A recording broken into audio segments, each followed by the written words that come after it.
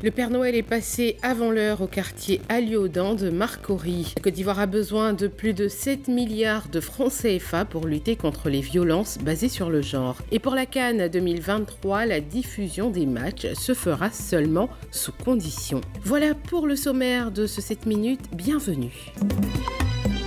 Des nounours, des poupées, des voiturettes et autres jouets de diverses sortes sont dans le pouce-pouce de Yaya. Tout heureux de voir passer ce simulacre de Père Noël, les enfants le suivent, certains heureux et d'autres en pleurs. Les enfants du quartier Aliodan de Marcory abritant des familles à revenus moyens bénéficieront ainsi de cadeaux. Aujourd'hui, vous voyez, les enfants, ils sont très contents, ils sont heureux.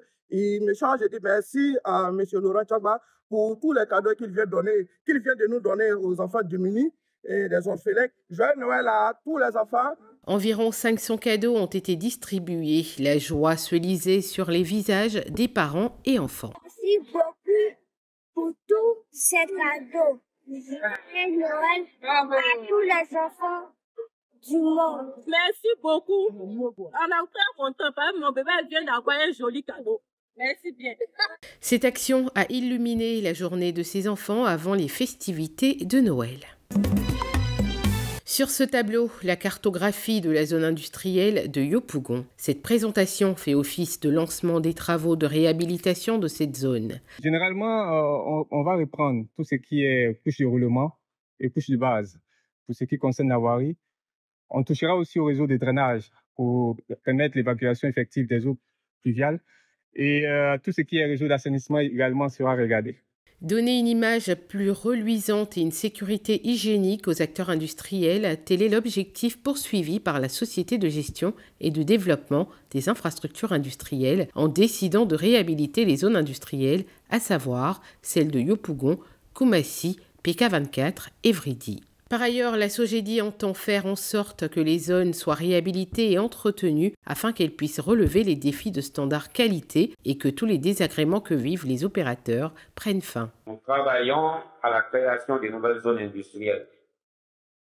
Notre programme triennal 2024-2027 prévoit le projet des villes industrielles modernes, notamment APK 50, en étude actuellement ainsi que des zones industrielles dans les grandes capitales régionales de la Côte d'Ivoire. Nous sommes très contents d'être là. Nous félicitons euh, le directeur général pour euh, leur leadership, pour son leadership, et dire que euh, les PME se réjouissent et nous allons prendre toute notre part dans la compétition de notre pays. Pour rappel, trois mois ont été donnés à l'entreprise prestataire pour la réalisation de la première phase de ces travaux.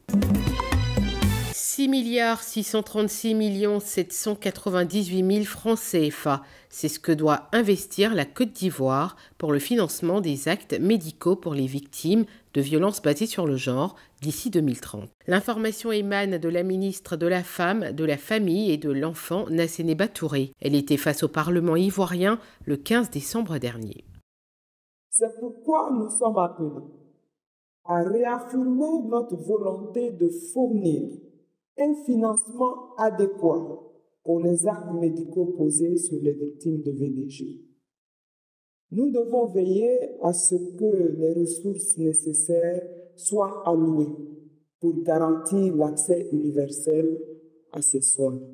À l'initiative de cette journée parlementaire, ONU Femmes en collaboration avec l'Assemblée nationale. Les violences basées sur le genre constituent un défi persistant en Côte d'Ivoire. 11 femmes et 50 nouveau-nés meurent toutes les 24 heures en Côte d'Ivoire. Les actes médicaux qui revêtent une importance cruciale dans la prise en charge médicale des VBG sont délivrés pour un coût de 50 000 francs CFA, un coût inaccessible aux victimes, surtout pour les enfants survivants. Nous sommes des élus, ici nous légiférons.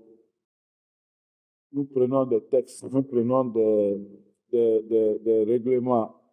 À vous donc, en harmonie avec le gouvernement, on fera en sorte que toutes vos résolutions issues de vos assises nous parviennent ici et vous trouverez donc un Parlement prêt, prêt à inscrire déjà ces idées, ces actions en forme de loi pour que ça soit partagé par l'ensemble du pays.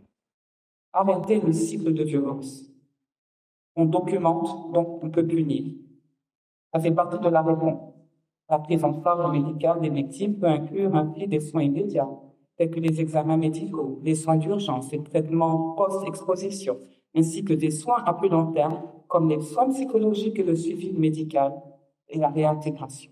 Les députés et sénateurs présents ont manifesté leur volonté de voter en faveur d'une loi qui autorise la délivrance gratuite d'actes médicaux aux victimes. Pour l'année 2022, on note 7719 femmes victimes de VBG. Le comité d'organisation de la Coupe d'Afrique des Nations 2023 a annoncé le mardi 19 décembre dernier que la retransmission des matchs de la compétition dans les espaces publics en Côte d'Ivoire, notamment les restaurants et les bars, n'est pas interdite. Depuis plusieurs jours, une information jusqu'ici faussement attribuée au COCAN fait état d'une interdiction de retransmettre les matchs de la compétition dans les espaces publics comme les restaurants, bars et buvettes communément appelés maquis en Côte d'Ivoire où cela est une pratique courante lors des grandes compétitions de football. Voilà qui met fin à cette édition. Merci de l'avoir suivi. L'information se poursuit sur cette info et sur www.cetinfo.ci.